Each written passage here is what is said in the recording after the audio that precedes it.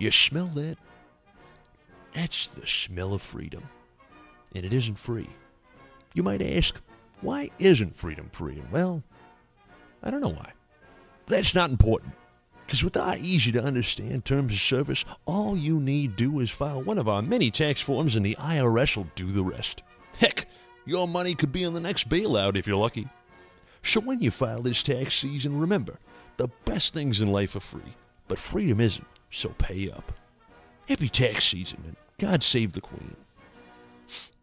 Can somebody open a window?